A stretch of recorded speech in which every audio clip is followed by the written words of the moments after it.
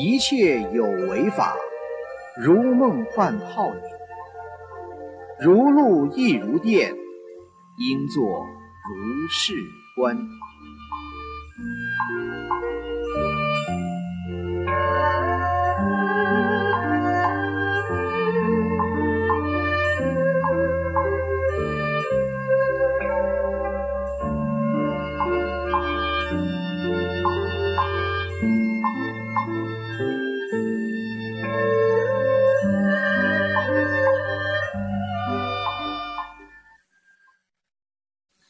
请先开经本第七十七面，七十七面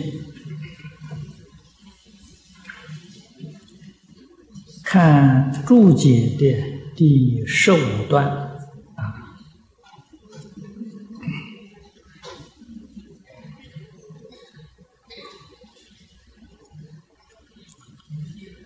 相机。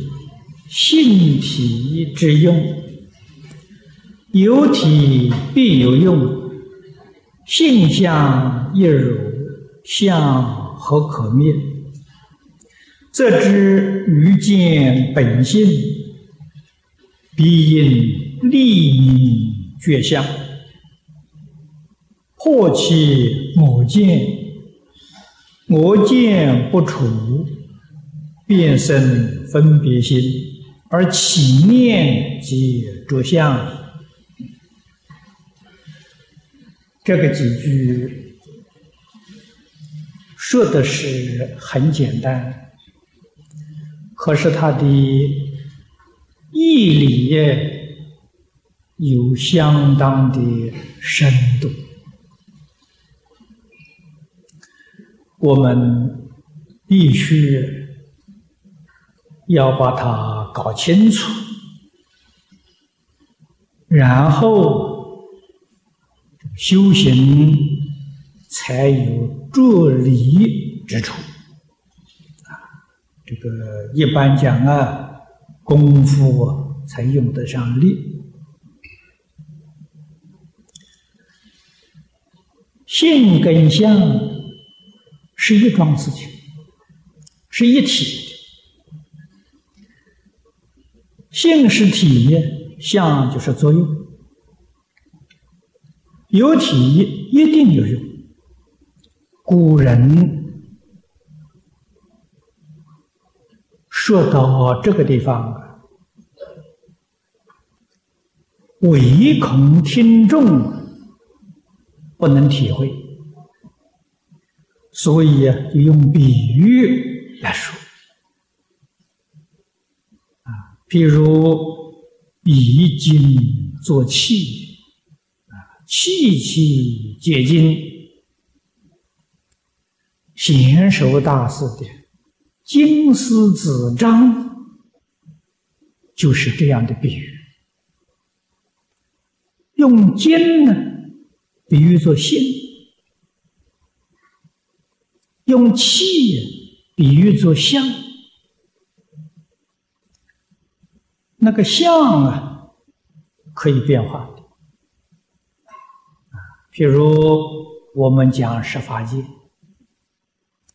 佛像、菩萨像、圆觉像、声闻像、天像、人像，或者是畜生像的像很多。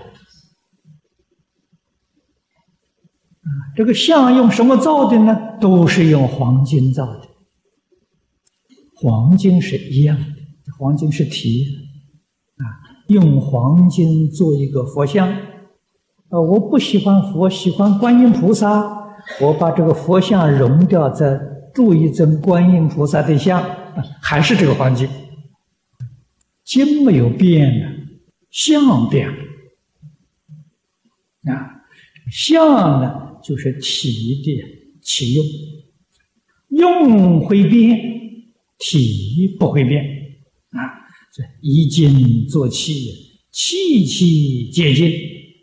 我们用黄金做的这个器皿，何止千万种花样啊！花样很多啊，可是那个金它的体验只有一个啊，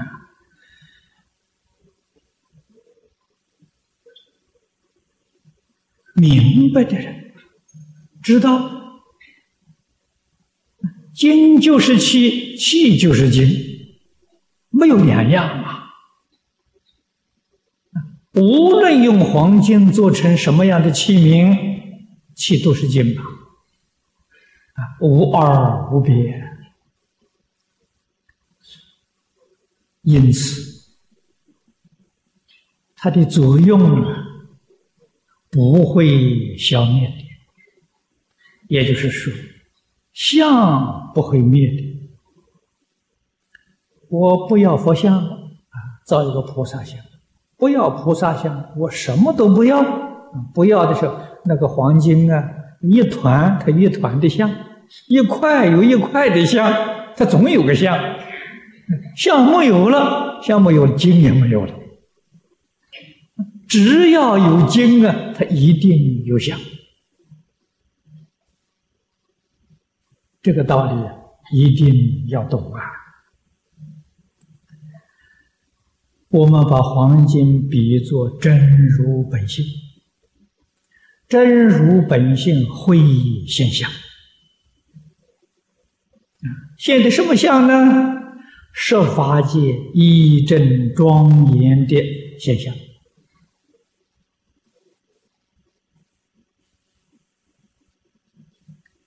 我们知道，这个金跟气。是随着我们意识在变化啊，我们想要什么，就把它铸成一个什么像。这个设法界这些医报正报的现象，怎么来的呢？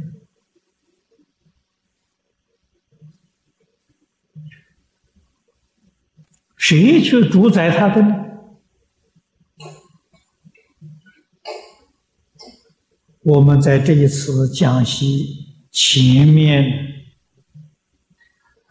也都曾经报告过，随着众生妄念在变化，啊，妄想执着在变化，有妄想。这就现出十法界了，有执着，就变现出六道轮回。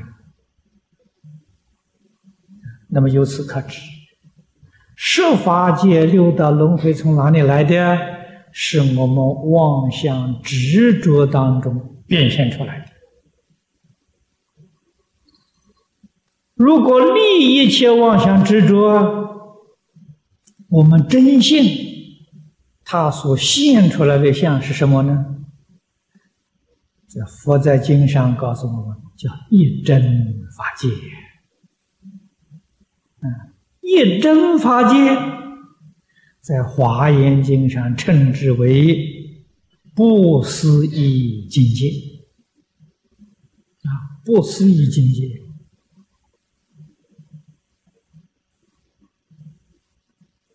这不思议用的太好了，啊！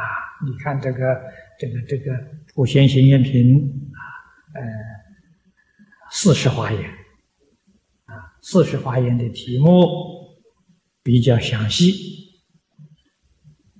啊，它这个题目是前面是《大方广佛华严经》，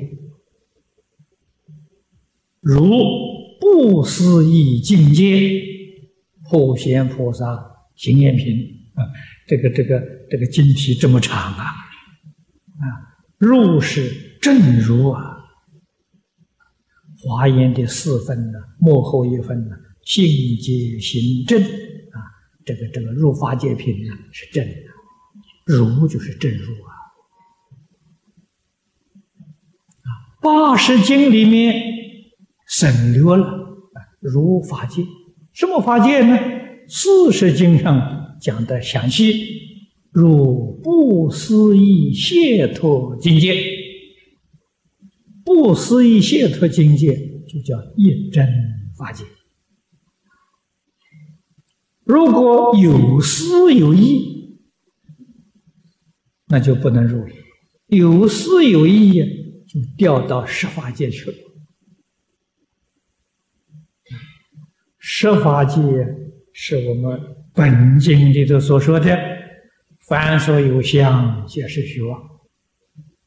设法界也是虚妄，可见的，一定要离开思意呀！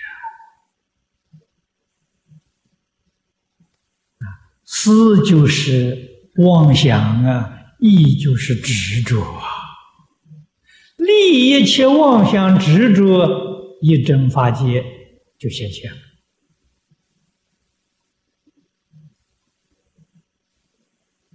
啊，这个才是恢复心德，我们的真心本心完全显露。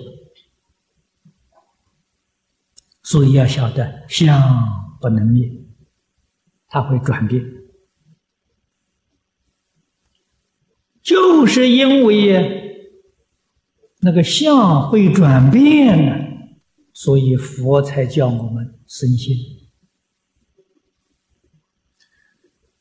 虽然现象，这个相决定是了不可得，当体即空啊，了不可得。所以佛教我们一定要无助啊，由此可知，无助身心，身心无助与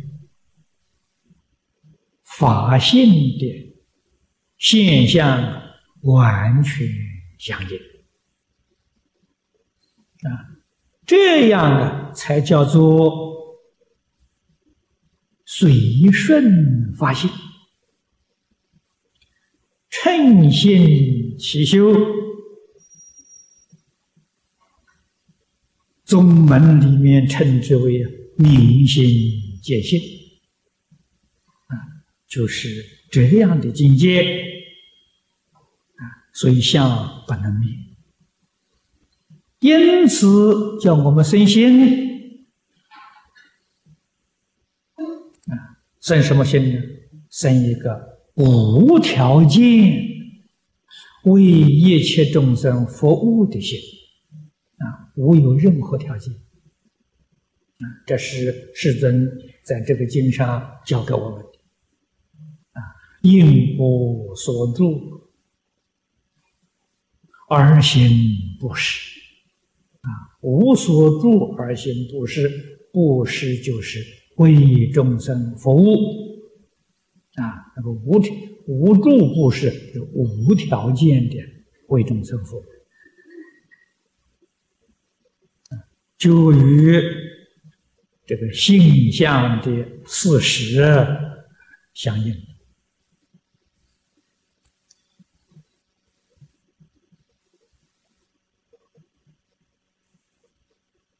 这里面呢，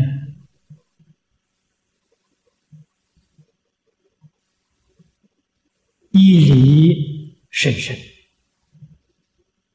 而且极其微细。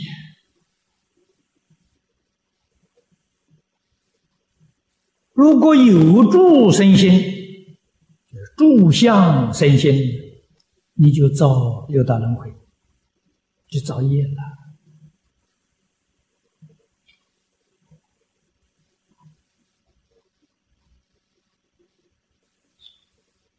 无助要不生心，你就住空。住空，若不能出三界，四禅又无想听，啊，到那个地方啊，就受生去了。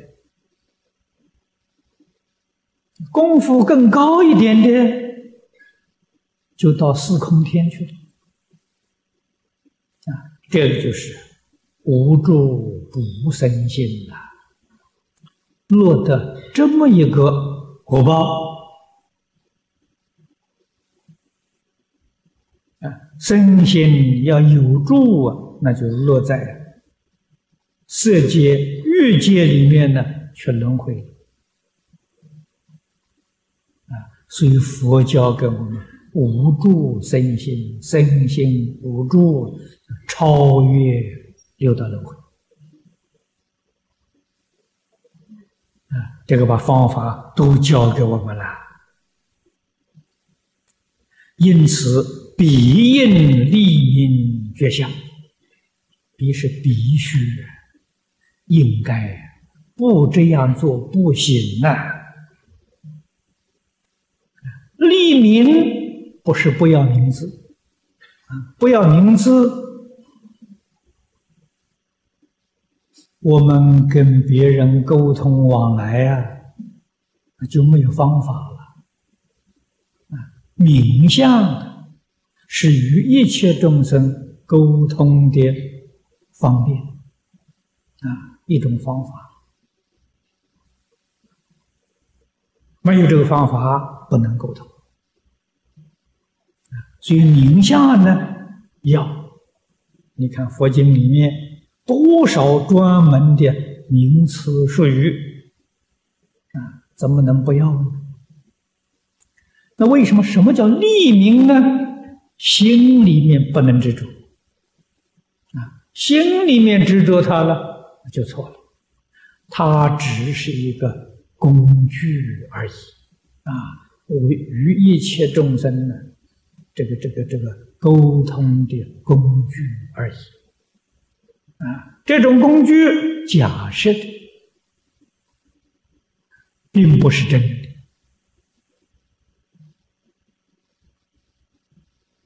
啊，我们知道这个性质，心里头对于名字相就不执着了。不但名字相不执着，言说相啊也不执着。言语还是跟众生沟通的工具啊，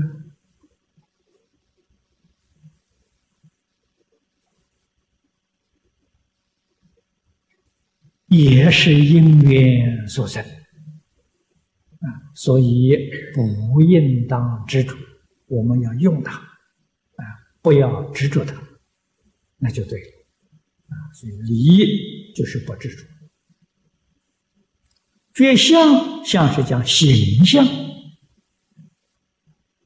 我们一个人，人有人的形，这个形象啊；畜生有畜生的形象啊。啊，在我们环境里面，我们住的房子，房有房屋的形象。啊，桌椅板凳各有它的形象，可见的。形象啊，也是性体的起用啊，都是性体起用啊。无论是动物的像、植物的像、矿物的像，全是性体的作用啊。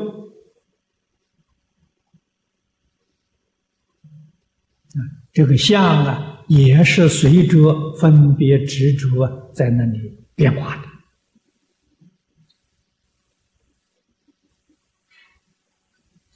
这些相我们可以用它，但是不能执着它啊！所以这个绝，绝就是断绝心中对于一切形象的执着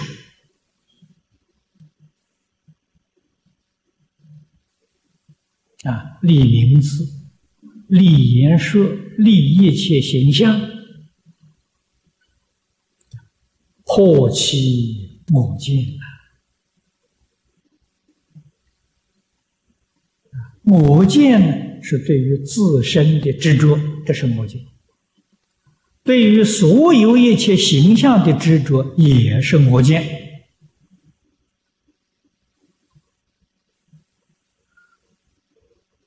啊，所以这个地方的魔是广义的，凡是一个形体，你执着它真的存在，这就叫魔界。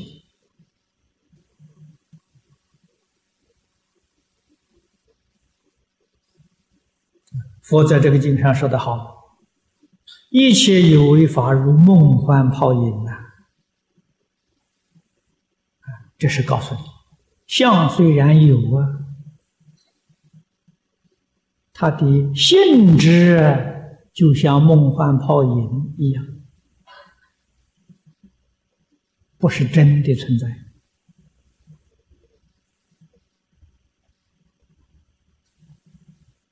是假有，是幻有，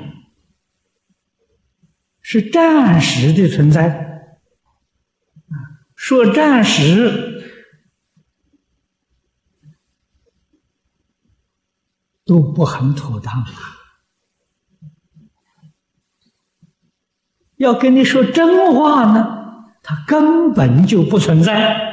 这个是讲真话，讲真话我们不懂啊。没法子体会呀！说占有、暂时有，呃，我们还还还能够勉强同意呀。啊，他暂时有啊，其实根本就没有。啊，当体即空，了不可得，那才是他的真相。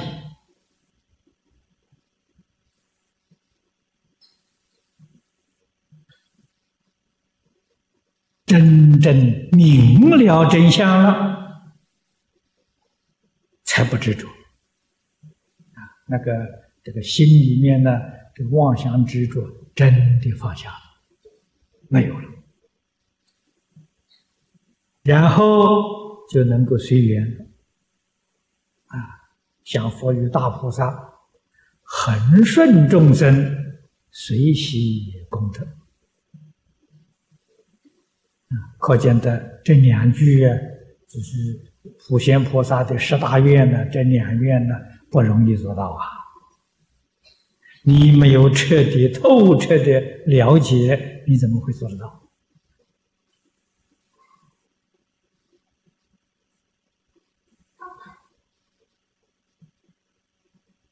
恒顺众生，要真正看破。才能做到，随喜功德要真的放下了，才能随喜，成就自利利他无量功德，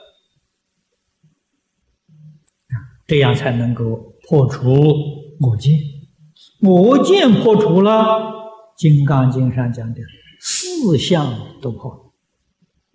啊四相世界都破了啊，那才是真正的菩萨。啊菩萨就是觉悟的人啊，真正的菩萨，真正觉悟之人。如果还有丝毫我见未除，那他还有分别。有分别，换一句话说，他还是会起心动念。只要起心动念，就做相。啊，做什么相呢？我们用《金刚经》上的话：“四相具足，我相、人相、众生相、寿者相。”四相就具足了。四相具足，不是菩萨。佛在这个经上讲的很好啊。若菩萨有我相、人相、众生相、寿者相，即非菩萨。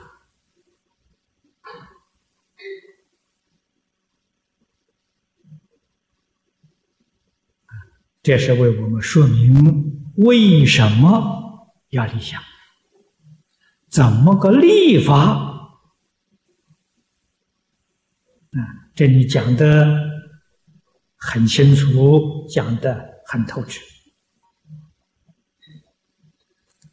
我今是无始病根，必应依佛所说法，反观内照，喜攀缘妄想，遵以仪轨持戒忏悔布施等，求消业障，开发本质，令信心增长，戒心成就。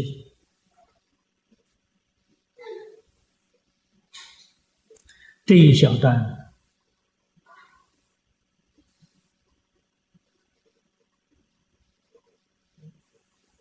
对我们修行来说非常重要。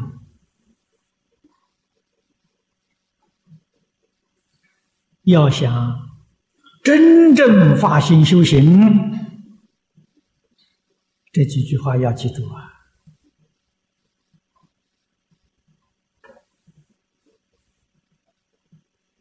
佛在大经上告诉我们：我们本来是佛啊，一切众生本来成佛。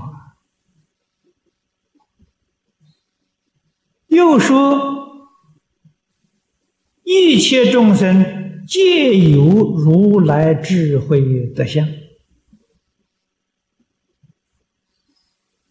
可见的，我们本来跟十方如来无二无别。为什么今天会落到这种地步？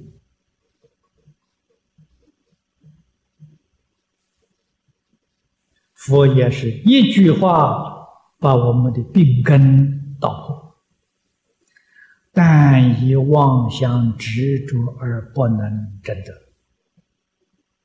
啊！这是世尊在《华严出现品》里头说的，跟这个经上讲的说的语句不同，意思没有两样啊。本经讲的四相四见啊。我见是无始病根，我见就是妄想执着。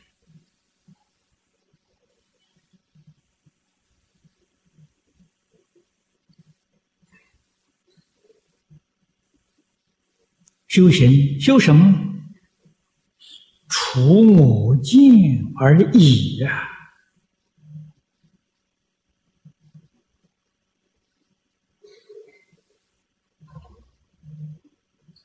这为什么不说我相呢？我相跟我见是一个意思，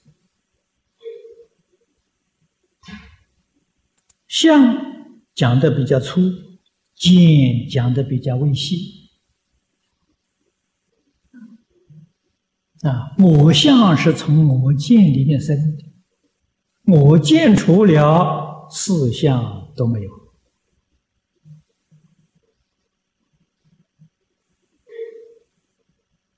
啊所以，它的确是不但是六道轮回的病根，也是十法界的病根。除掉之后啊，一真法界就现前。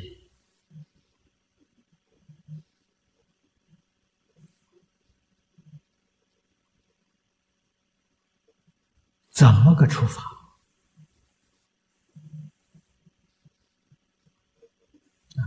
必须依佛所说法。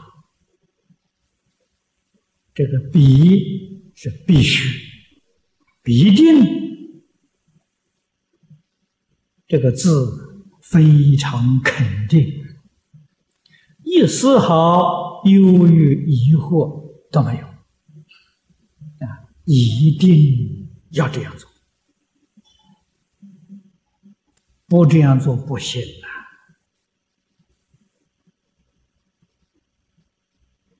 啊！反观内照，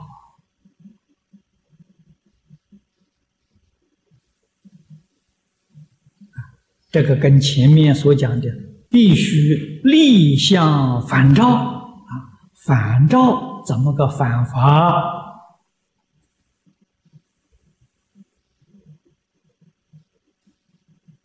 上一次已经跟大家报告出来了，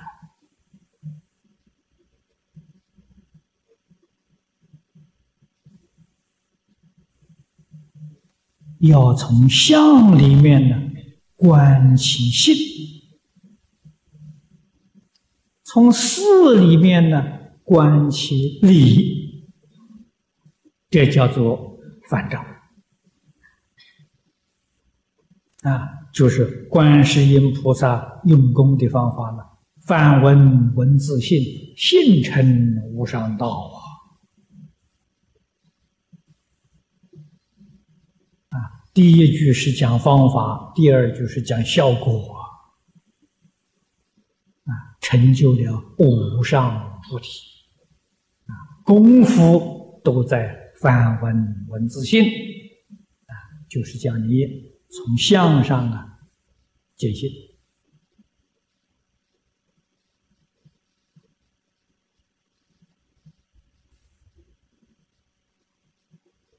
也就是从有上见空，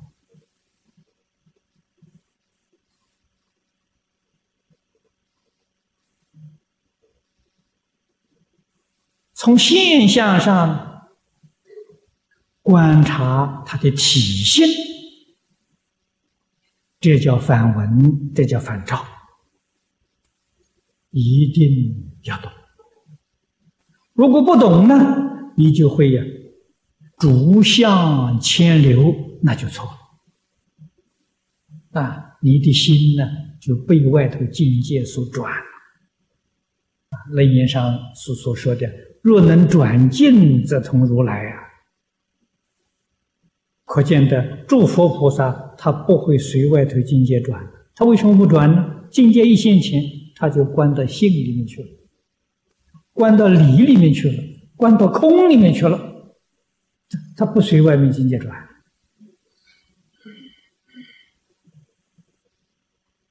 这个跟诸佛菩萨就相同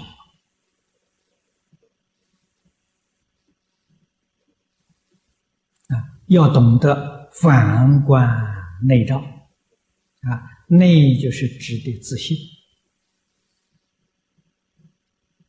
习攀缘妄想，攀缘是执着，啊，妄想是分别，分别执着真的很不容易断呐。我们无始界以来，这个分别执着。从来没断过，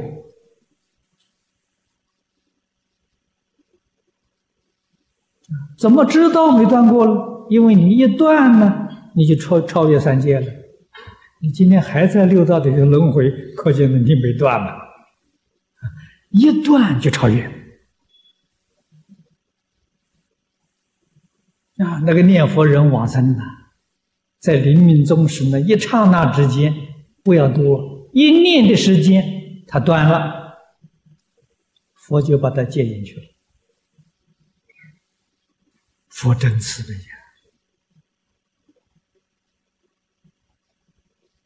念佛人临终，佛为什么不来接引呢？不是佛不来接引，是他的妄念还是不断，那这就没有办法了。那佛对他无可奈何啊。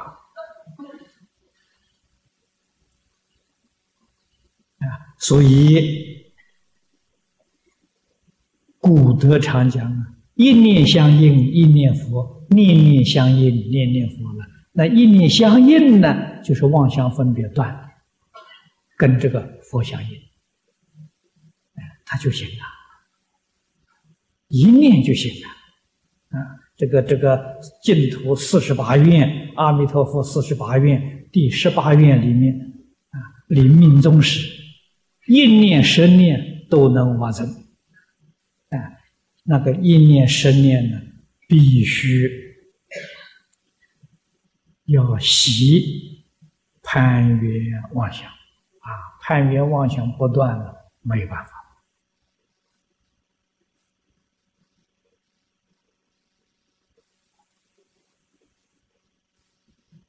这的确是我们这一生关键的大问题！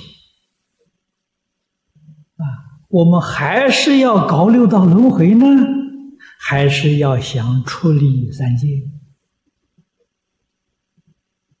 要出离三界，习攀缘妄想就非常重要。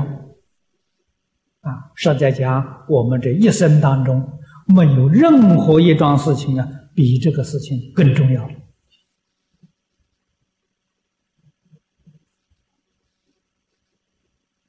要真在这上下功夫啊，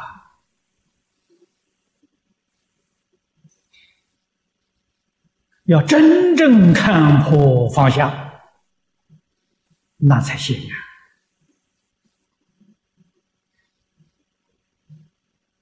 丝毫放不下，我们这一生呢，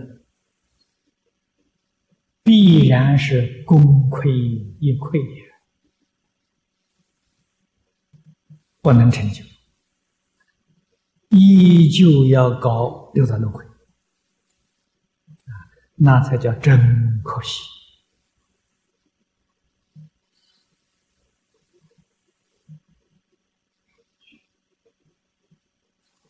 我们也知道，确实有不少同修真正想修行，真正想了生死出三界，可是就是放不下。啊，这是我们可以理解的。啊，为什么放不下呢？无始劫来的烦恼习气。他对于事实真相，并没有搞清楚，他怎么能放下？啊，事实真相搞清楚，又谈何容易？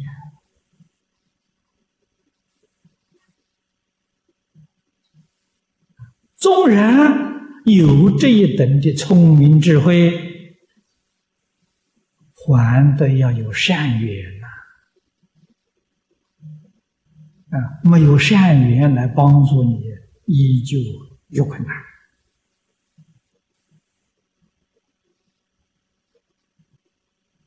遇到善缘了，要真正肯做，遵依依规，一定要遵守，要依靠，依规就是修行的方法。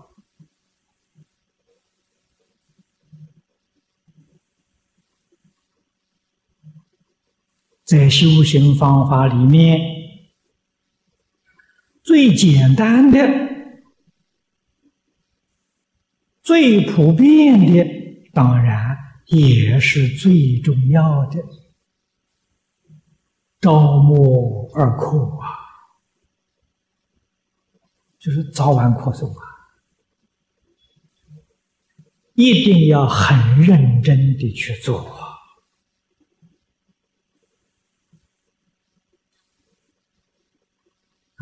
朝暮二课不是佛给我们规定的，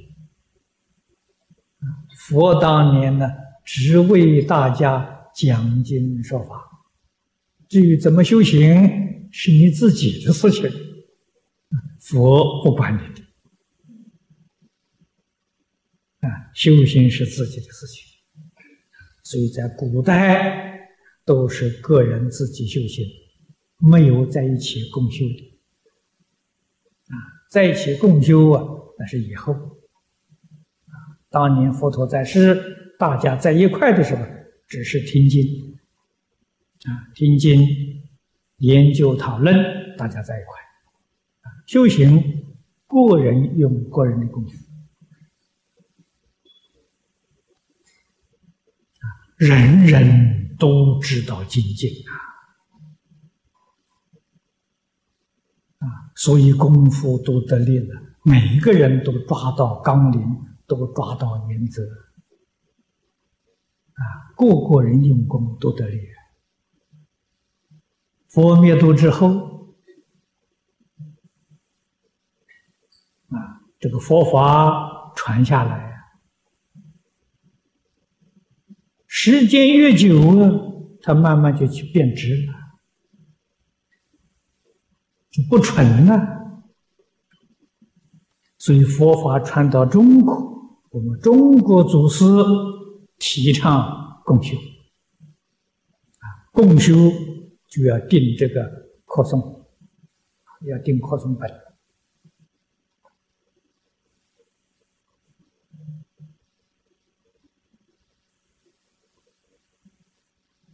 正式提倡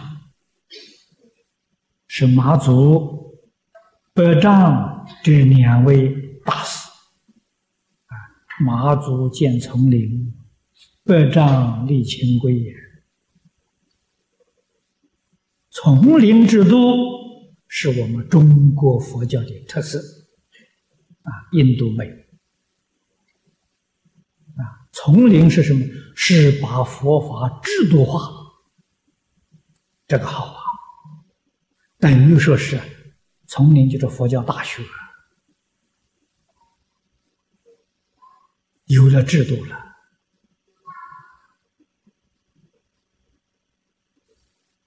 中下根性的人呢都能成就。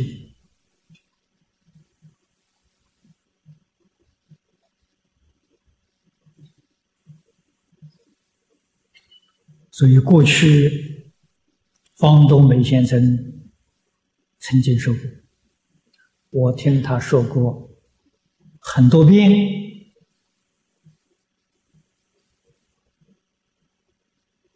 他说：“佛教要能够真正在佛心，一定要恢复丛林制度。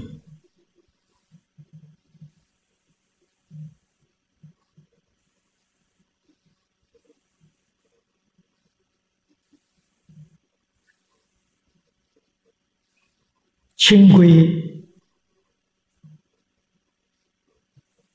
是修学方法的。”中国化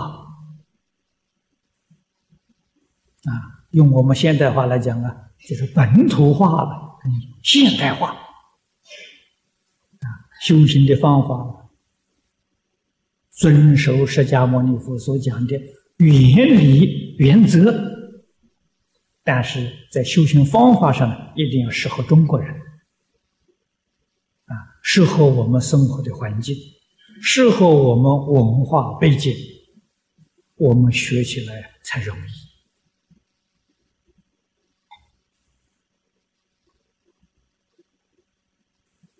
这个道理不能不知道啊！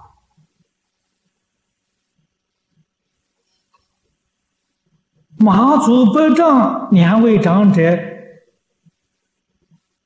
距离我们今天有一千三百多年。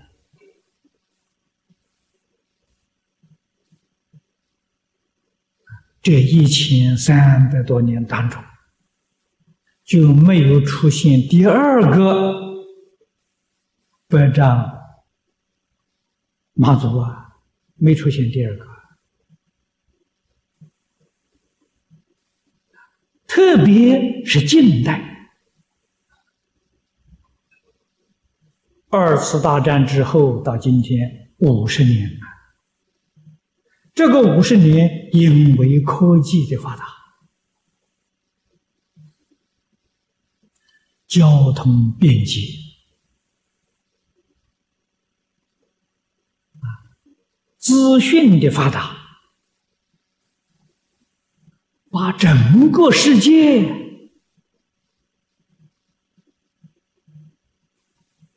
连成一体。啊，今天世界哪个地方点点点绝绝的事情的时候，我们在电视传播上立刻就知道。交通的发达了，这个地球变小了。在过去，从新加坡到中国坐船要坐十几天呐，现在六个小时。啊，这个飞机还不断在改进，将来的速度可能两个小时就到了。这美国些科学家各告诉我们说，从美国飞到中国两个小时。这个世界是越来越小了，人际的关系是越来越密切了，所以我们的意识形态起了很大的变化，我们的生活环境啊，这个文化背景呢，来了很大的冲突。啊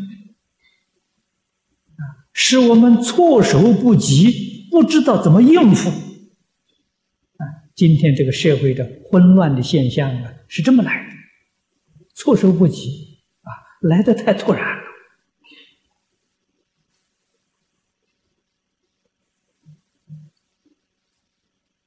因此，古大德给我们定的这个早晚课诵啊，必须要修订啊。如果不修订呢，又派不上用场啊！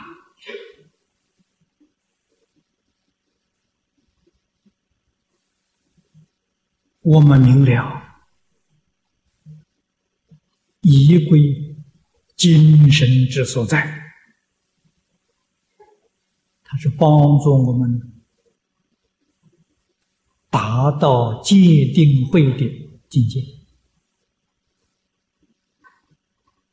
因界生定，因定开会。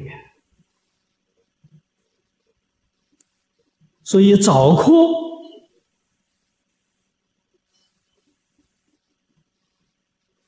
它的用意是教我们亲近佛菩萨，听佛菩萨的教诲，今天一天生活。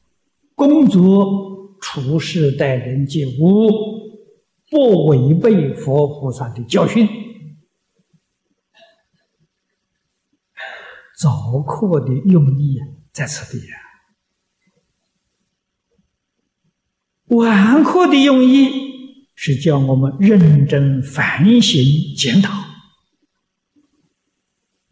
啊，我们今天在生活当中、工作当中处人。呃，之中有没有过失？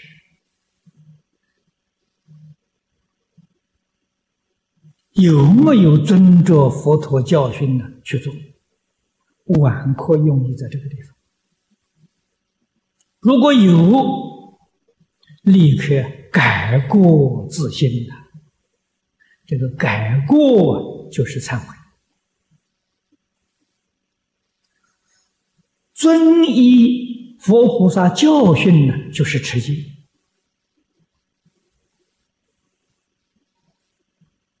啊。这个戒广义的意思是教戒啊。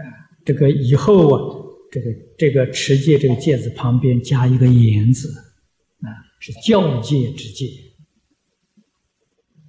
晚课用意在此地。古时候定的那个课诵本，那是农业社会，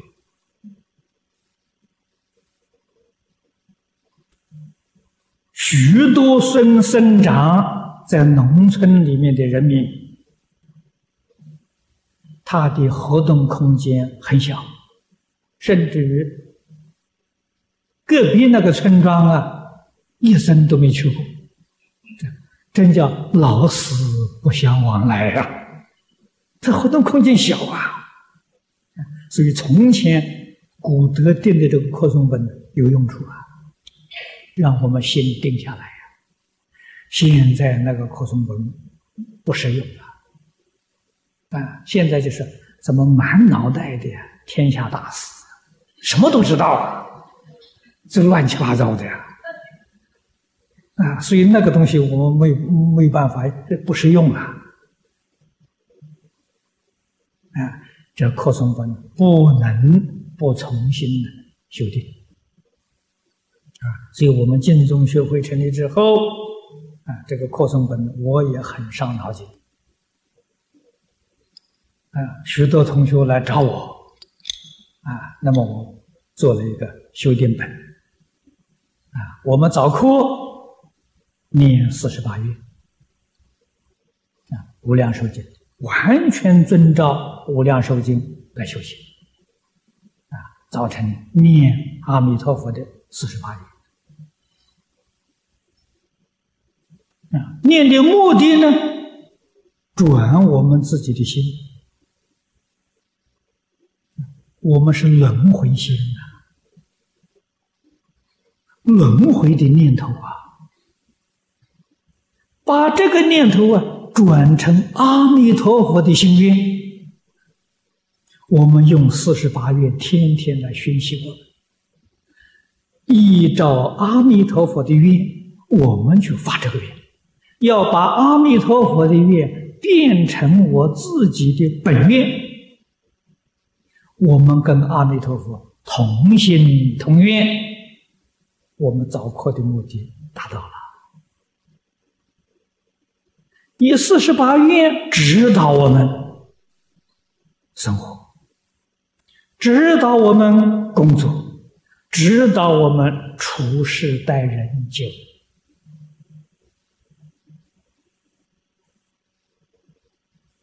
啊！所以这个早课里的读经呢，就取《无量寿经》的第六品；晚课呢，还是取《无量寿经》。三十二到三十七品，啊，这个一大段经文，诸位念得很熟啊。全部的内容可以用四个字概括：持戒念佛。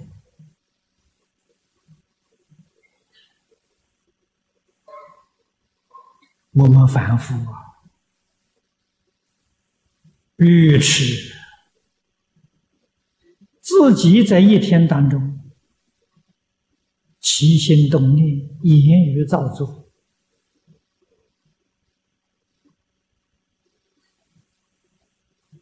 不知道检点，不晓得反省啊，所以这个光阴虚度了，空过了啊，这个太可惜了。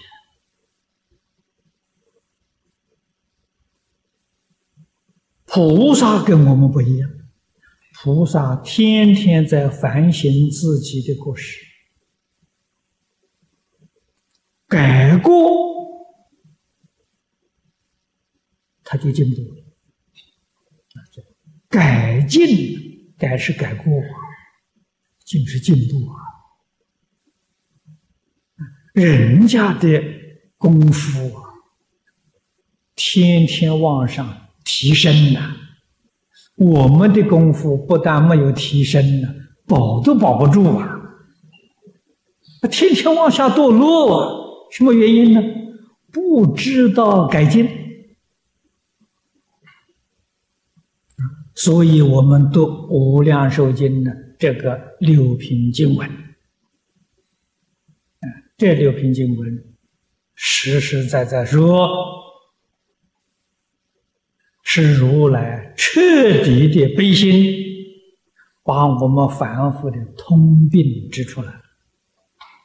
几乎所说的是我们大家共同都有的毛病习气，天天念呢，警惕自己，念这段经文，想象自己有没有这个毛病。啊，有毛病要改。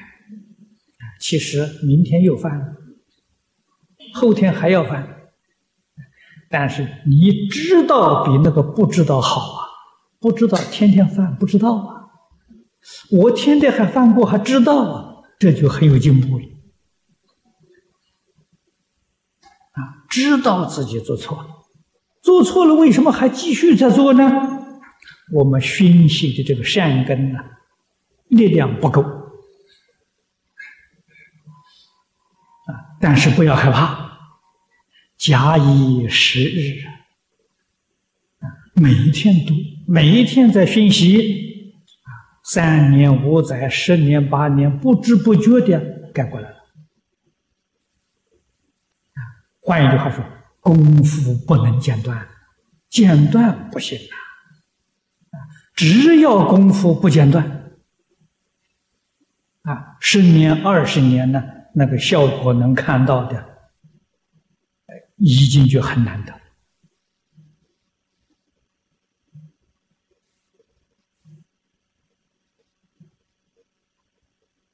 若是勇猛精进的人，就认真去改。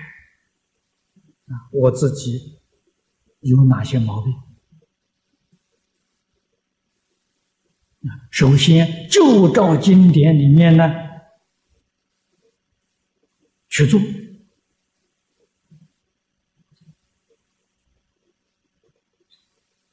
古人这个改过自新呢。比我们认真，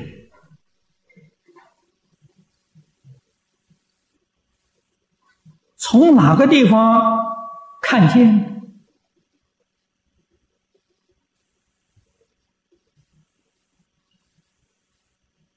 像明朝的时候，一般读书人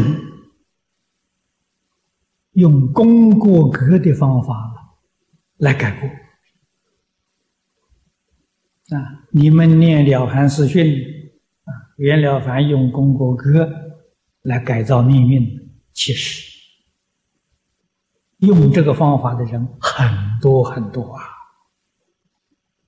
不止了凡先生一个人呢是了凡先生把他自己的这个经过写出来了，我们才晓得，别人没写出来啊。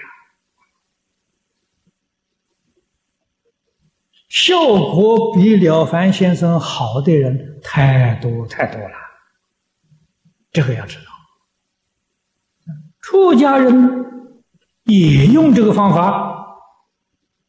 我们从莲池大师的《自知录》里面看到，《自知录》是什么？就是功过格。啊，莲池大师编的。为出家人编的，可见的那个时候人家修行呢，真的是很认真的。每一天要检点自己的毛病过失，知道自己的毛病，就觉悟了。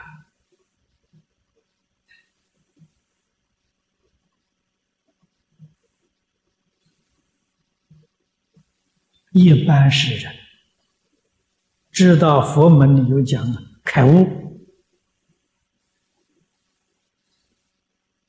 执着这个名相，以为这个开悟是高深莫测，很玄很妙啊。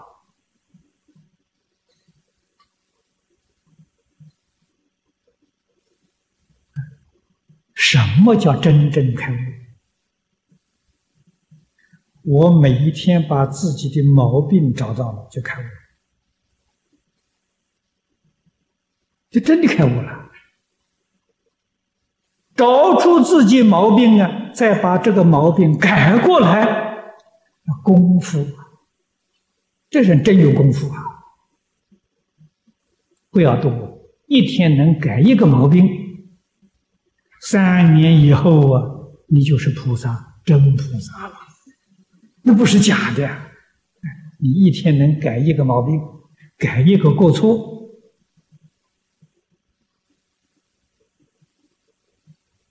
求生净土，那不是想去就去了，来去自由啊。一天自己一个毛病都没有找出来。嗯这一天就空过了，这一天就白过了，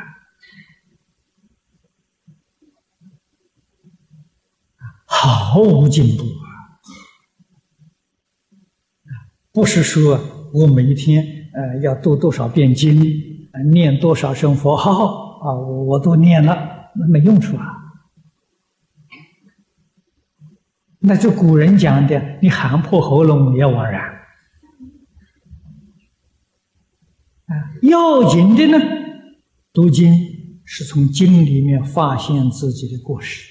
这个经呢，也有镜子的意思啊，照照镜子。怎么早晚起来照照镜子，洗洗脸，哪里脏了洗干净。这个读经也是照镜子，我们心里面有没有肮脏，有没有污染？啊，能够读经啊，把自己心性里面的污染找出来了，再把它洗刷干净。那你的经就没有白读了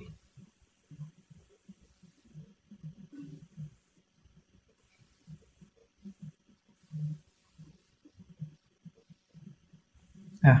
这是真正的持戒忏悔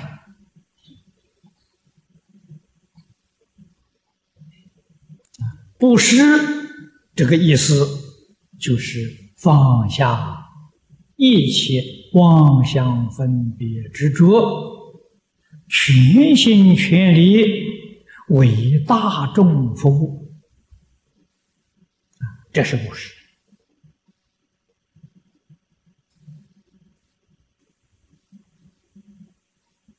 布施这两个字，包括了圆满的菩萨心。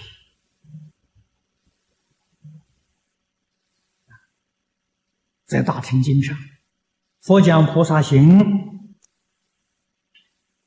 所谓六度万恨，六度是纲领啊，纲领一展开，无量无边的细行，这个无量无边的细行归纳，不外乎这六大类，六度。这个六大类呀，还可以归纳，归纳到最后啊，就是一个布施。布施里面呢，分为三大类：财布施、法布施、无为布施。财施里面有内财，有外财。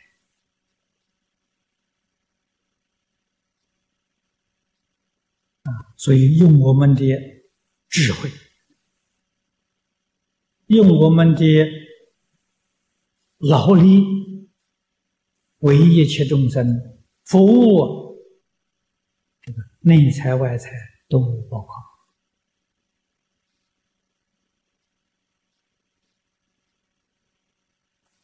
持戒忍辱是属于无为布施。精进禅定般若是属于法布施，所以设一个布施啊，六度全都包括，啊，六度包括万恨。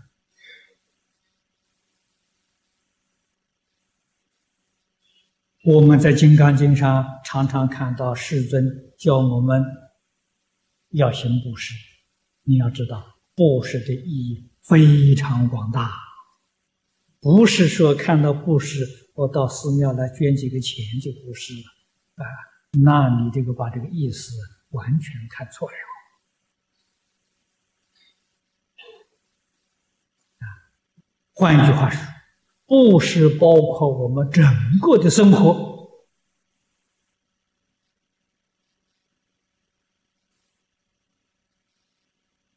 求消业障，开发本质。本质是我们心性当中本具的般若智慧。这个智慧为什么不能现前呢？业障障住，障碍住。业障消掉了啊，我们自信本具的般若智慧就现前，就透露出来了，就起作用了。那么要想消业障，就要习攀缘妄想啊！诸位要晓得，攀缘妄想就是业障啊，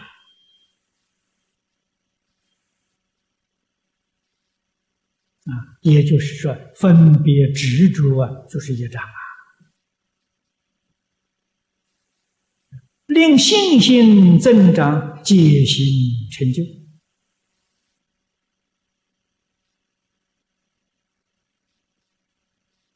解是慧成就，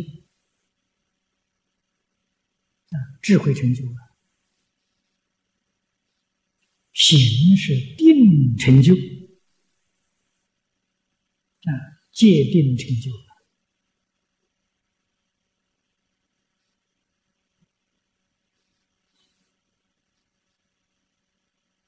戒定成就，那信心呢，必定是。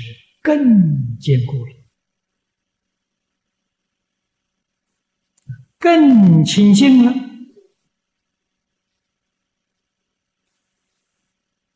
这在菩提道上，当然是一帆风顺啊！菩提道是什么？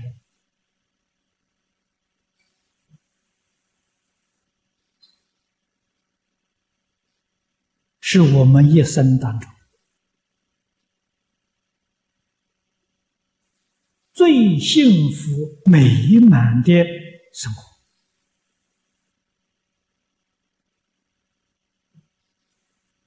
人生最高的享受啊，那叫菩提道啊，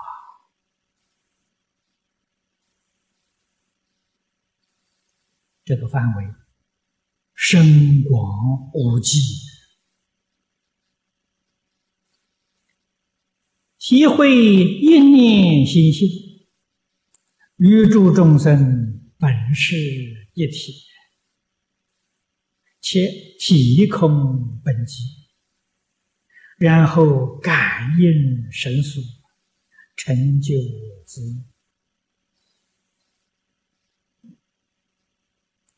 这个一段文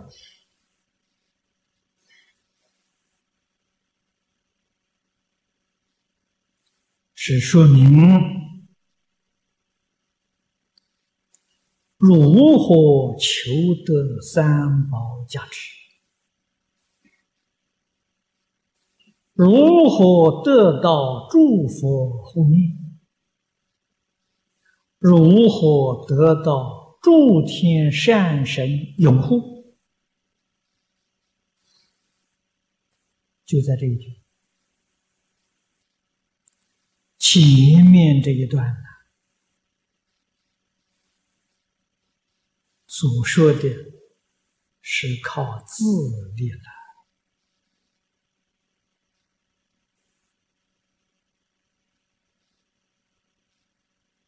自己肯用功，肯努力，肯断恶修善，肯转烦恼为菩提，一定得得到佛菩萨加持，佛菩萨保佑啊！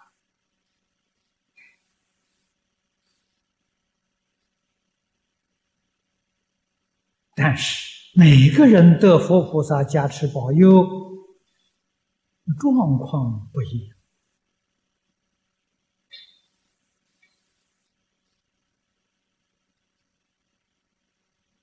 明显的加持，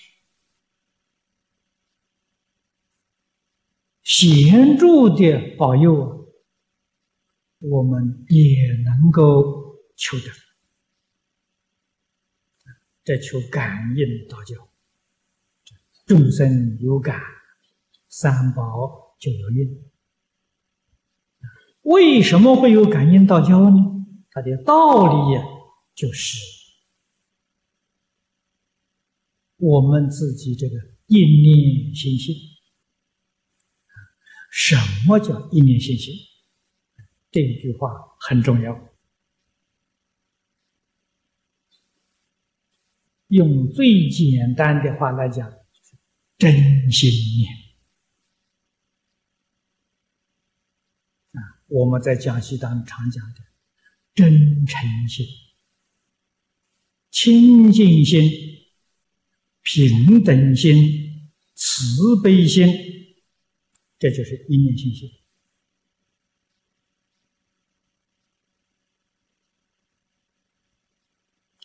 真诚、清净、平等、慈悲，虽然说四个是一个，我们的真心就是真诚、清净、平等、慈悲。所以在日常生活当中，处事待人接物之处，要培养真心，培养真诚。别人对我。真不真诚，不要去问，根本就不要理会，啊，不要去分别执着，我对人是不是真诚？我对事是不是真诚？我对物是不是真诚？要问自己，反过来问自己，不要去问别人，别人成不成？与我不相干，啊，要紧是自己。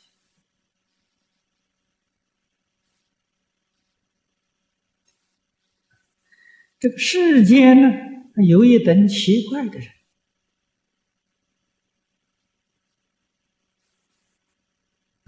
听了佛法之后啊，发誓，人家明明欺骗我。我还要诚心诚意对他，那我不变成傻瓜了？不甘心不情愿呐！哎，你骗我，我要骗你呀！报复的心太强烈了啊！那我就告诉他，他下地狱啊，你也跟着下去啊！他到地狱去，我不去不行啊！那这那这不傻瓜好吧？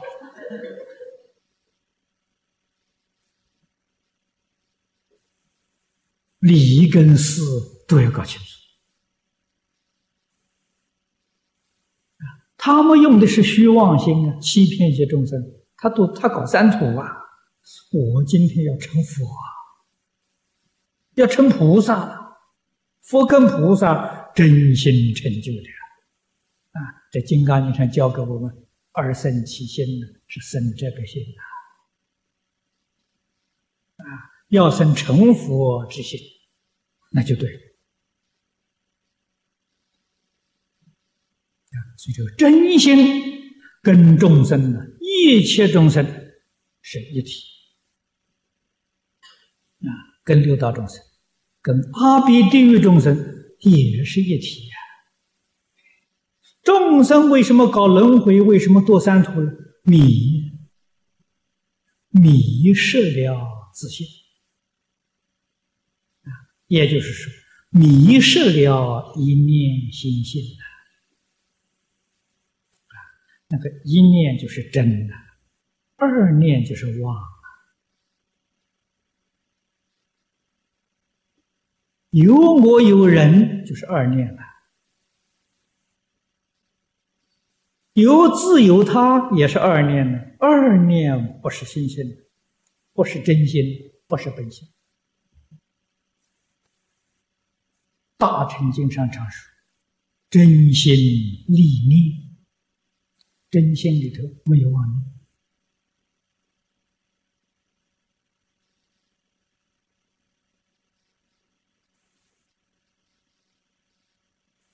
我们看六祖坛经。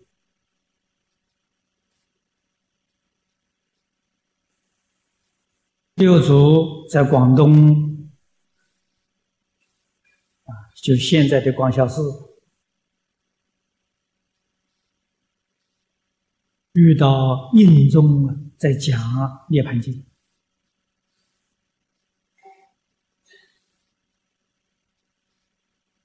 外面呢那个帆呢被风在那吹，就有人在那里争论啊，到底是风动是帆动。啊，有人说翻动，有人说风动，啊，他老人家看到两面争论不休啊，他在当中打一个岔，啊，不是风动，也不是翻动，人这心动啊，啊，这一句话被印宗听到了，印宗的这个不是平常人，啊，请他上座，再问他的来历，啊，知道他是。黄梅得法的六祖，就对他非常尊敬啊，向他请教啊。他说：“你在黄梅的时候，五祖常常说法啊。五祖对于禅定解脱怎么讲法？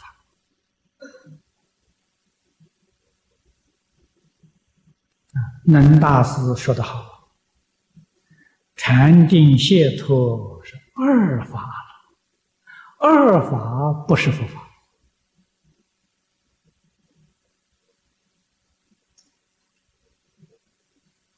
落到二就不是一念心性了，一念心性里头没有这些妄念了。禅定解脱、菩提涅盘。五祖讲不讲呢？常常讲啊。能大师会听呢？怎么叫会听呢？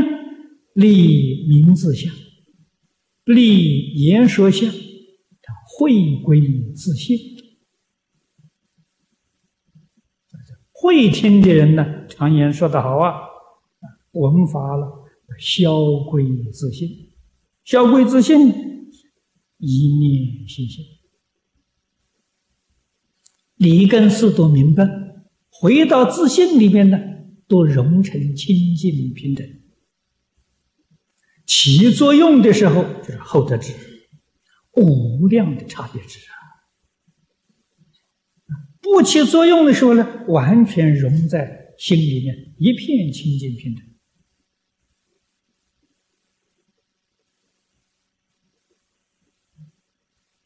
那么多人听讲啊，就是慧能大师一个人听进去了，消归自信啊，别人所听的都落在意识里头啊，都在那里虚妄分别啊。印宗还想听听啊，五祖忍和尚怎样讲解脱，怎样讲禅定。你就可想啊，他那个分别执着没有离开呀。六祖回答他说：“完全融成一片，完全融成自融到自信里面去了。那个境界完全不一样啊！这个高下在这个地方，你就能看得清清楚楚、明明白白啊。所以从心性上说。”佛跟众生是一体，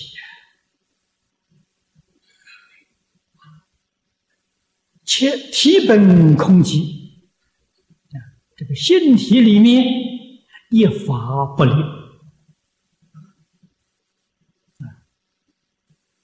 慧能大师说的好：“本来无一物，本来无一物就是寂，空啊，是空。”本来无一物，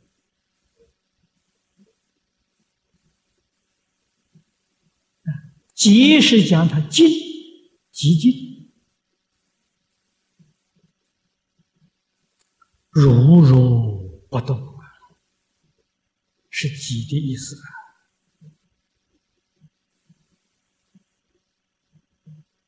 本来无一物，如如不动。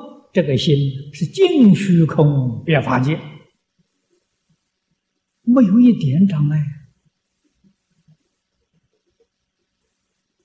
所以上与诸佛是一体，下与六道众生也是一体，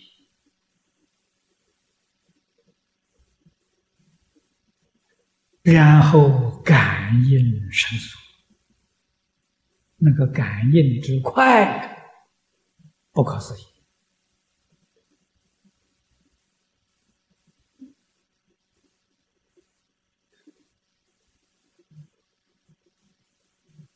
凡夫学佛啊，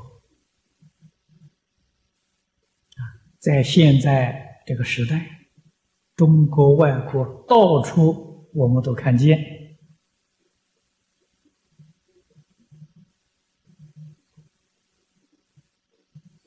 绝大多数天天在拜佛、供佛、求佛菩萨保佑啊。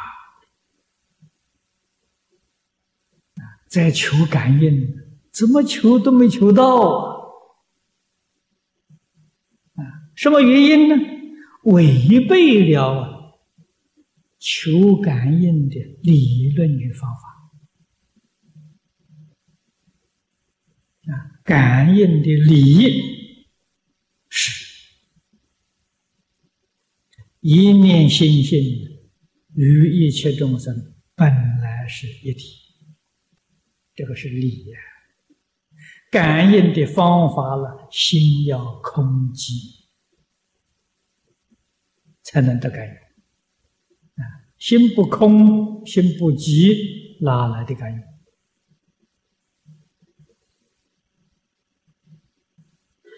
我们心不空也不寂，妄念很多，妄想很多，烦恼很重。哦，豁然，佛菩萨来感应了。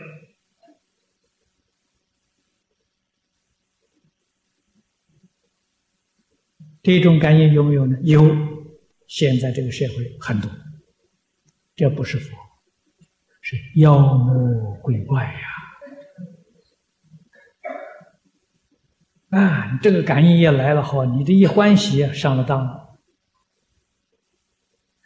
你一生被魔王控制住了，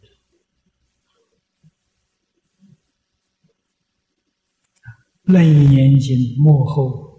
佛为我们讲五十种阴谋啊，在过去只是经上听说而已，事实上很少见呐。现在这五十种阴谋，几乎在这个社会每一个角落上，你冷静一观察，都在。那真的出现了。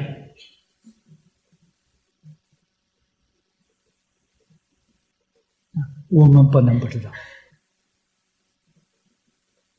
佛很慈悲，教给我们如何能够避免这些麻烦啊！啊，佛教给我们一个原则，我们要记住啊：这种境界现前，根本不要理会，就什么事都没有。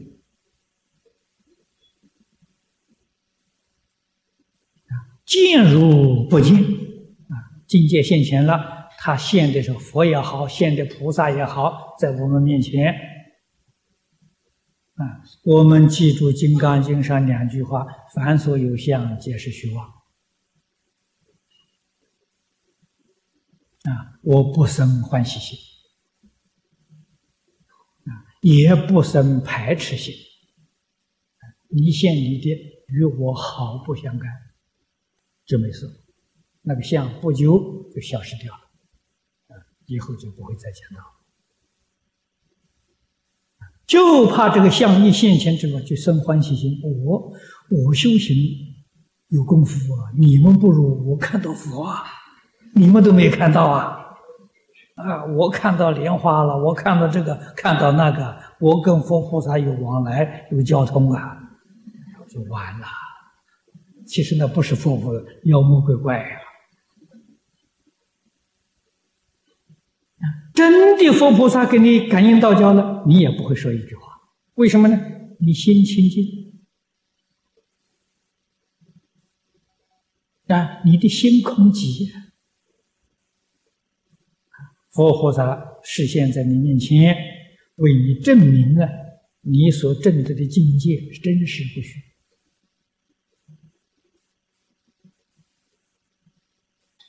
啊，你所修行的完全如法，佛菩萨偶尔展现这个境界让你看见，像过去我们净宗初祖圆空大师，他在生的时候，三次见到西方极乐世界，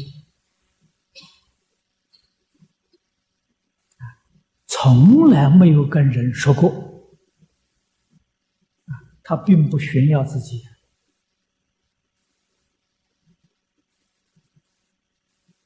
并不夸张啊，还是老实念佛，从来不说。临终往生那一天才说出来，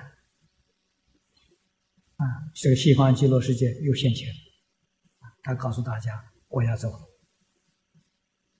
这个这个境界过去已经看过三次了才晓得，啊，走的时候再说出来啊。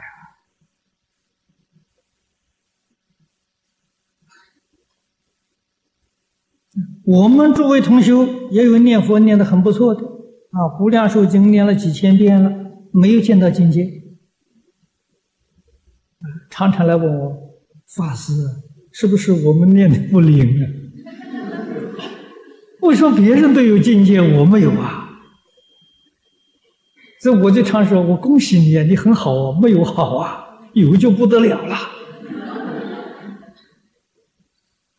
为什么佛不现境界给呃来给你看？是因为你功夫不到家，你没有定力，佛一现境界你就发狂了，哎呦，不得了啊，就完了。你要能有远公大师那个定力，佛一定现境界给你看，啊，那就是好境界。啊，现在我们定力不够啊。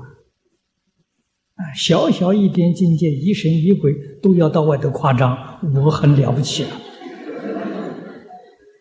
佛菩萨大慈大悲呀，不害你啊。现在现象跟你说，害惨了你了。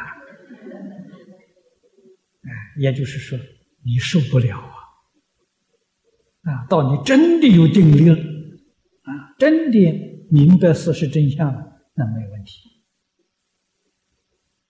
啊，那么由此可知，诸佛菩萨现象不现象都是大慈大悲。啊，现象是大慈大悲，不现象也是大慈大悲。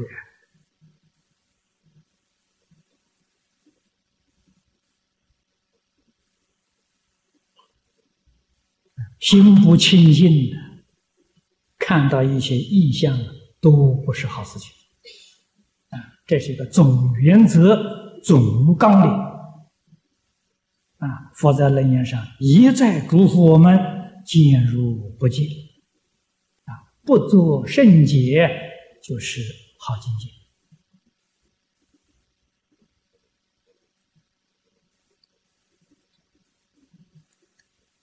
说持此意以为人，则能胸襟旷达。不惹烦恼而得自在，一知精言慎行，不错因果而无挂碍也。持此意，《金刚经》上讲的道理方法，做人呐。我们这一生做人呢，守住《金刚经》上讲的原理原则，你的胸襟当然大了，我们讲心量大了。无我相、无人相、无众生相、无寿者相，这个心量多大了？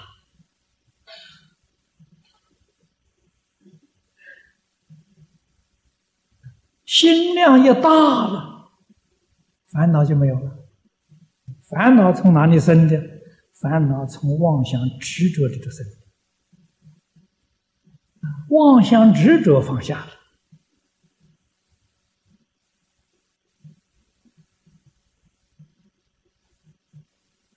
这个心地清净广大，就跟虚空一样啊，真自在，真快乐。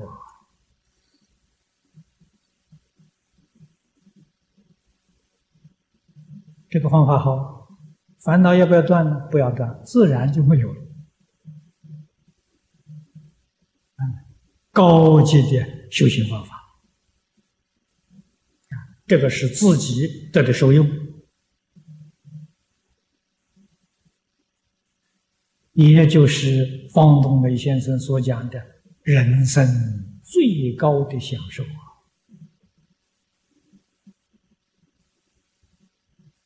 这叫真实的受用。但是我们还没往生。我们这个身体还在人间，还要跟这些人、这些迷惑颠倒的人打成一团呢，还要跟他们在过日子啊！那用什么态度呢？谨言慎行啊！谨言慎行呢，就是恒顺众生。啊言语谨慎，行为起心动念，一切造作都很谨慎。这个谨慎就是守规矩、守法啊，绝对不犯法。绝对不违规啊！国家的宪法，地方很多单行的法规，乃至于这个地区的风俗、道德观念啊、习惯等等，我们自自然然都遵守。都尊重，所以跟这个社会就能和睦相处啊。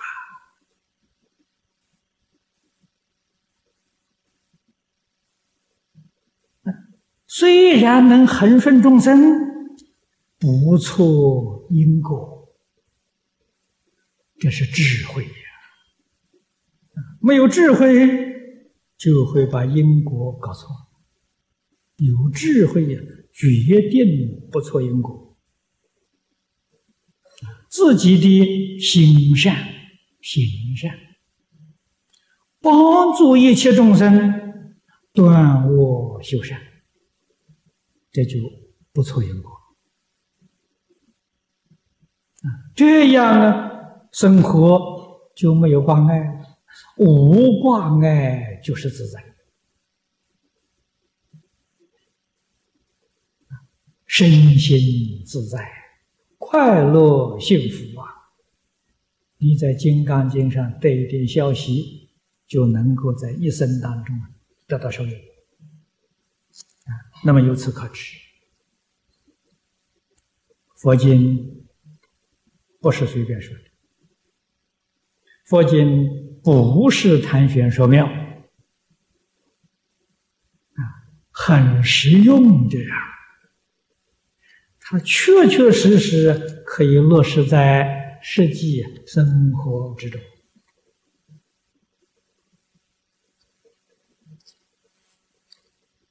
那么，这是讲的，你懂得《金刚经》呢，你就会做人了。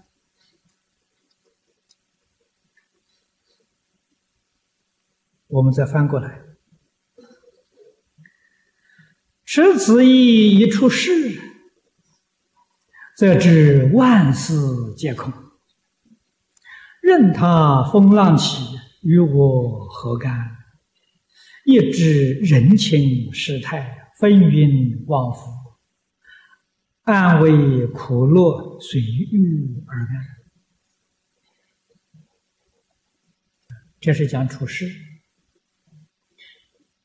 啊，处世用现在的话来说。适合于现前的社会环境啊，这就叫出世。你要用到《金刚经》的原理原则。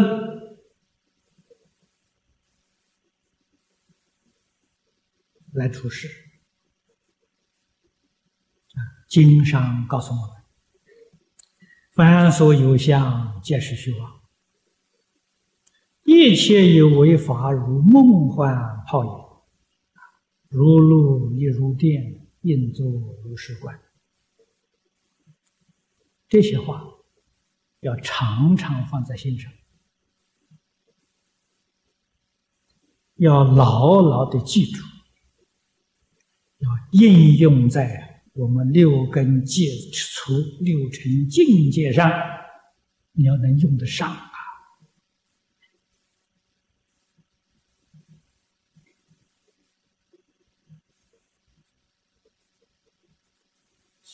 怎样是用上？怎样是没用上？这底下几句话。就是用上的样子啊，用我们佛门的术语讲呢，功夫得力。功夫得力的样子，就是知道万法皆空，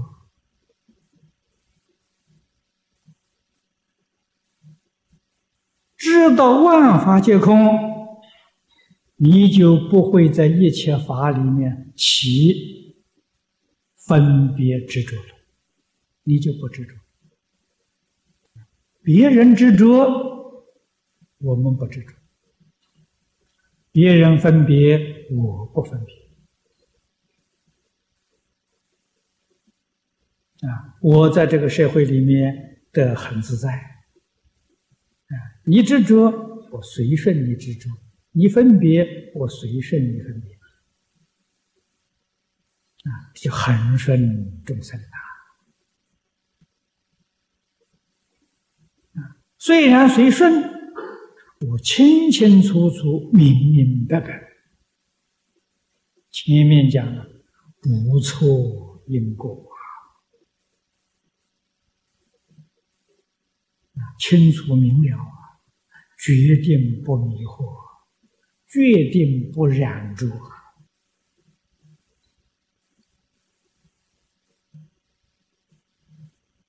那个境界转不过来的时候，转过来众生呢，他迷得太深了。我们晓得，他这种想法、这种看法、这种做法，后来的果不好，会带来很多苦难。你劝告他，他不听啊！你跟他解释，他说你太多。忧虑，他不能接受，这个时候怎么办呢？任他风浪起，与我何干？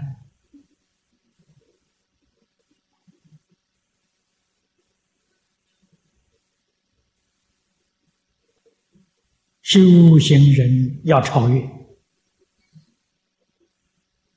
啊，这我常讲的，我们在这个世间要做一个看戏的人，不要做演戏的人。演戏很辛苦啊，看戏很自在，不辛苦啊。哪些人演戏呢？有分别执着的人在演戏。你看他们的日子有苦有乐。看戏的人呢？嗯，没有，很自在。不要去演戏吧，他演他的戏，我看我的戏吧。你就自在了。看戏就是佛菩萨在这个世界讲游戏神通啊，清楚吗？啊，我们中国俗话也常讲啊，当局者迷，旁观者清啊。看清了，因为他没有利害关系，没有利害得失，所以这个因因果果看得很清楚。啊，当局什么？他有利害关系，啊，所以他常常想的、看的都如错误，啊，都有偏差。唯有局外人清楚啊！啊，我们学佛要做局外人啊，那个局是六道轮回呀。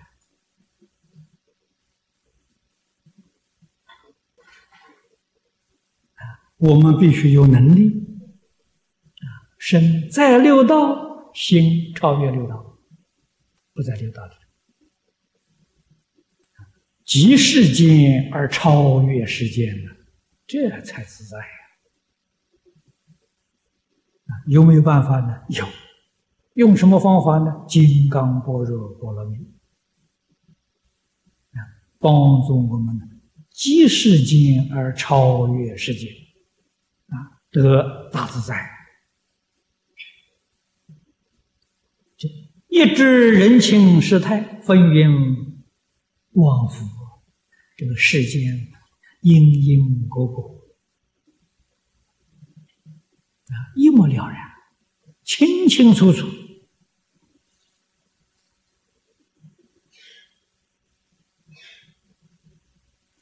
安为苦乐是众生的。众生相啊，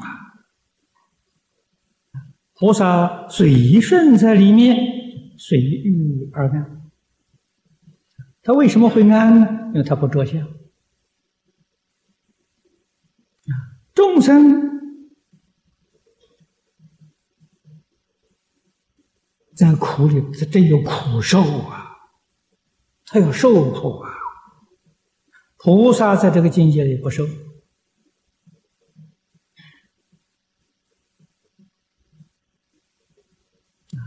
他没有感觉到他苦，众生在顺境里头有乐受，菩萨在顺境里头没有乐受，没有感觉到快乐。菩萨的心永远是清净，永远是平等的，苦乐忧喜是起伏波浪不平等的，啊，那叫众生心呐。所以佛菩萨心是平等平等的。我在前面也曾经跟诸位说过，啊，我举这个供佛的例子，啊，我们平常家里面供佛供养佛，啊，这个寺庙道场里面供养佛，这个供养具很多很庄严，啊，这是令一切众生呢生欢喜心，啊，如果是自己修行。用不着啊，用不着这么多的供养具、香花了，用不着啊。这个佛菩萨不看了，佛菩萨不需要，是给戒淫众生啊。那么我们晓得，佛菩萨看不看？你自己在家里香供养，更是谁给自己看的呀？那你自己已经着相了。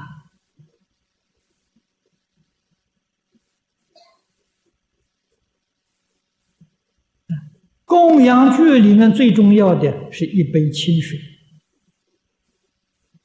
啊，供一杯水，香花没有都没有关系，供一杯水，水代表什么呢？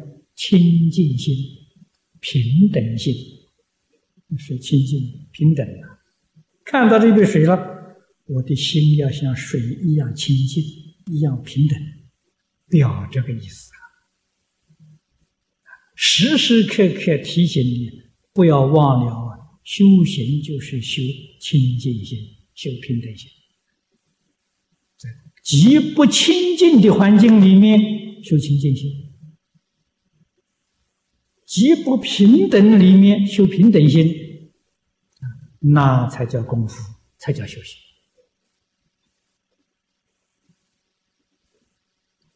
所以菩萨叫随遇。而安啊，他道理在此地。持此意，以当大任，做大事，以不着相故，事来即应，心生泰然，不为所动，条理直然，头头是道啊！啊，到这个地方是一小段。啊世间人，由于过去生中积德修善，这一生当中得大福报，得大福报的人，在这个世间呢，多半都是领袖的人物，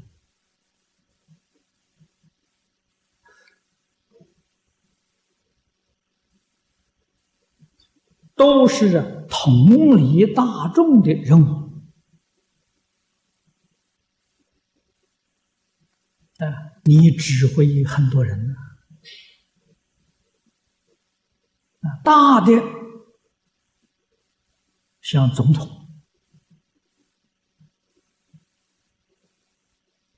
啊，管理着一个国家的国民啊，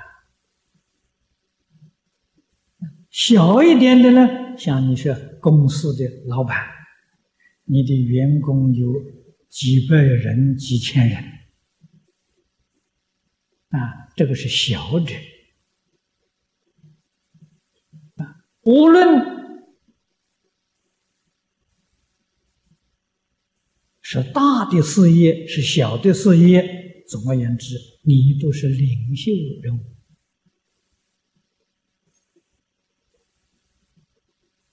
你不仅为你一个人，你要为这个团体当中每一个分子。他们的生活，他们的前途，去着想啊，这个责任重大了，叫当大人，做大事。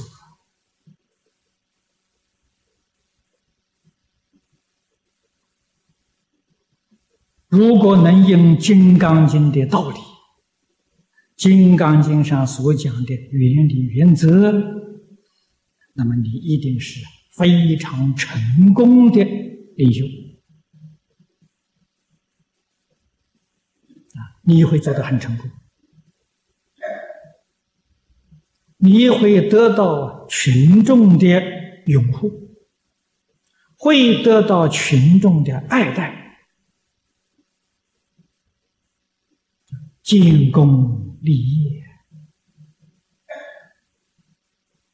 为什么呢？一不着相，这个不着相啊，你的心清净。刚才讲的真诚、清净、平等、慈悲，用这种心来同理大众，哪一个不服呢？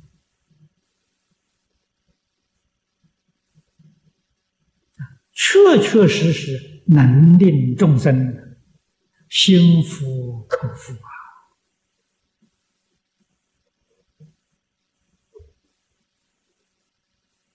听从你的指导啊，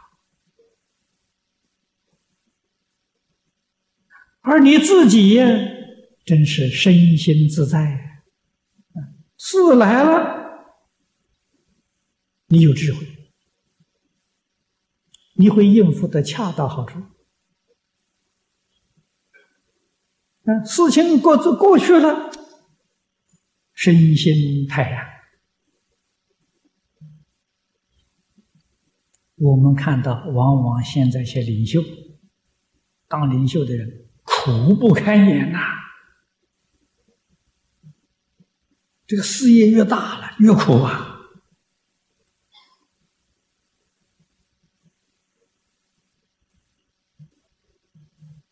一天到晚呢，那个头脑都在操心呢，想这些想那些，呃，怎么个应付啊？怎么个呃求发展？怎样安排呀？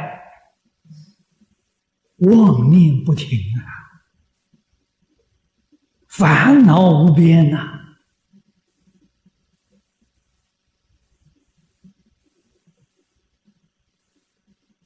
他不懂金刚般若波罗蜜嘛。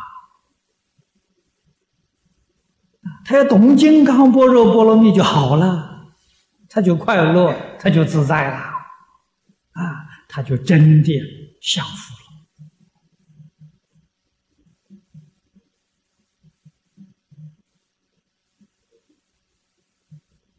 了。啊，大事业要不要去想呢？不要啊，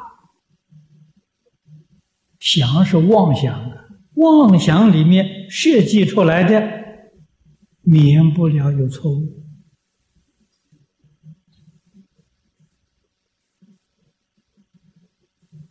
免不了有损害，智慧里面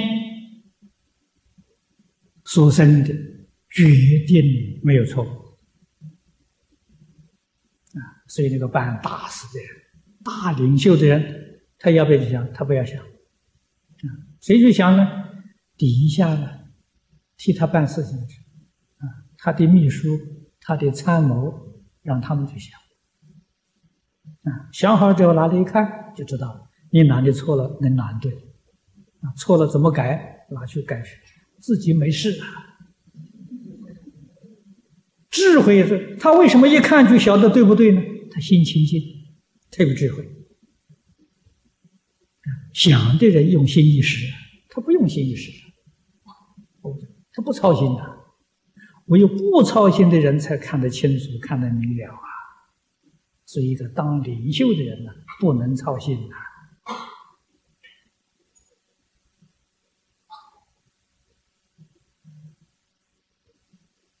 啊！看看人家做出这个方案拿来呀，你能够用智慧去判断啊是非利害得失，你只知道他这个就行啊，这一定要清净心，不为所动。啊，不管怎样，烦乱的事情，心心静，绝不为他所动。啊，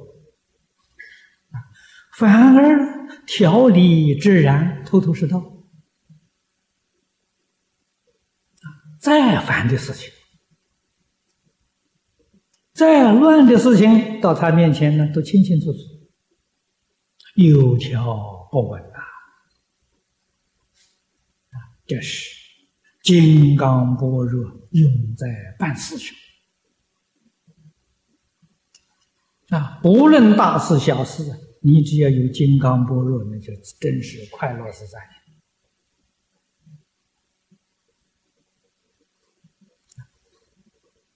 是处是法，一切尽是。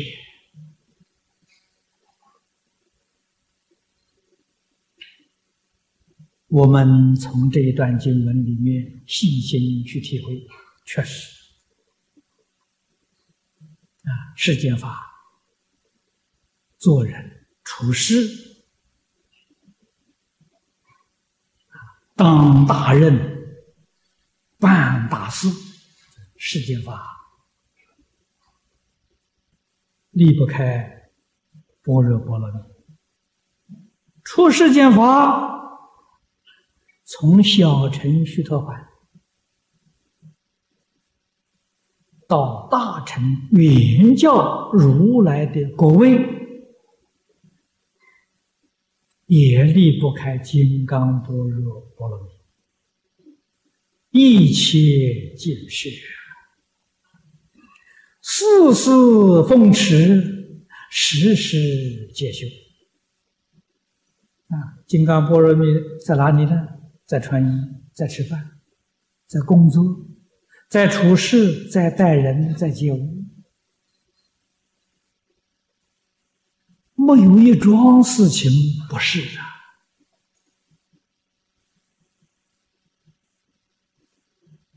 世尊在开经为我们显示的入舍卫大臣其实，那是出家人每天的工作啊。做衣吃博是生活，点点滴滴里面显示圆满的金刚般若波罗蜜。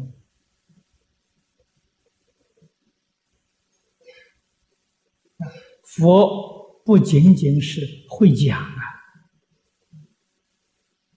他所讲的就是他的生活。就是他的心性，佛不欺骗人的，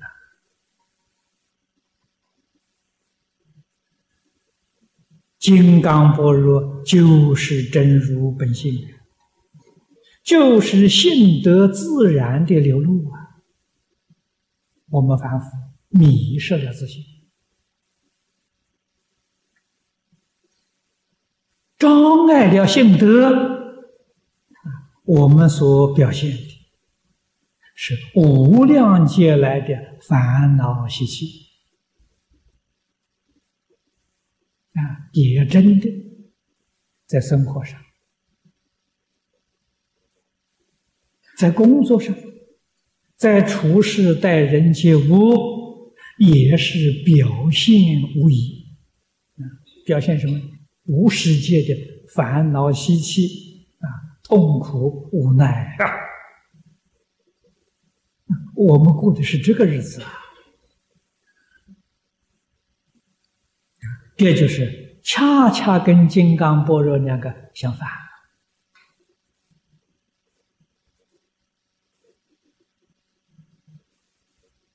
所以要知道，他一切境界是四四奉持，事事都显示出圆满的般若波罗蜜，时时皆修啊，一分一秒都没有离开啊，在在受用，处处皆是佛法啊，佛法在哪里？佛法就在。一切时一切处，在我们起心动念、言语造作啊，无有一法不是佛法。如果迷了，那就无有一法是佛法；觉悟了，无有一法不是佛法；迷了，无有一法是佛法。问题就在。迷与觉者一念之间，觉的相是什么呢？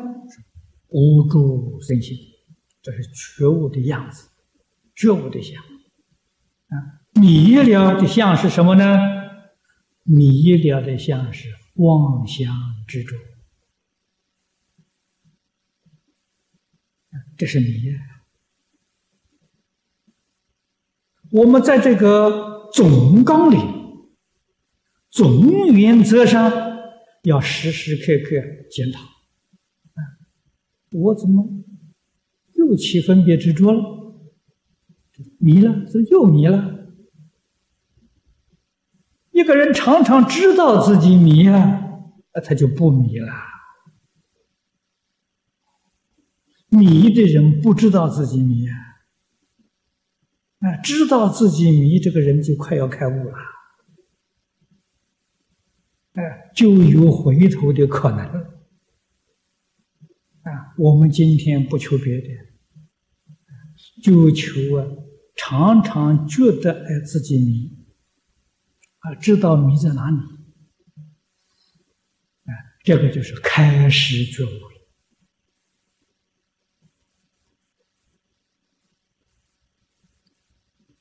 那么由此可知，金刚般若不能不学。金刚般若对于我们这一生的关系太大太大了。那，就是不学佛，不求往生，我们希望过不过，希不希望过一个幸福、快乐、美满的一生？你要想。达到这个目标呢，这一部经的确是帮得上忙啊，而且是很容易让你满愿啊。如果用这部经帮助我们念佛求生净土，没有一个不往生的不但往生了，品位还很高了啊，品位不低呀。今天时间到了啊，就讲到此。Música